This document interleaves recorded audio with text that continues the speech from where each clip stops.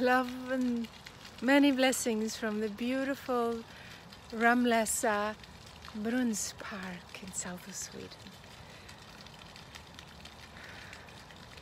I want to welcome you to a very special online course happening this Sunday. Living with the Divine.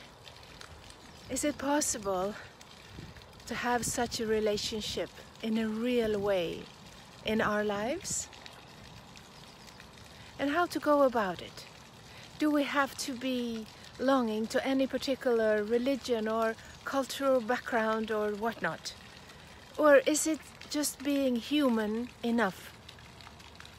Well, perhaps our bodies are made to experience this. I welcome you to join me on a deep dive journey with your divine.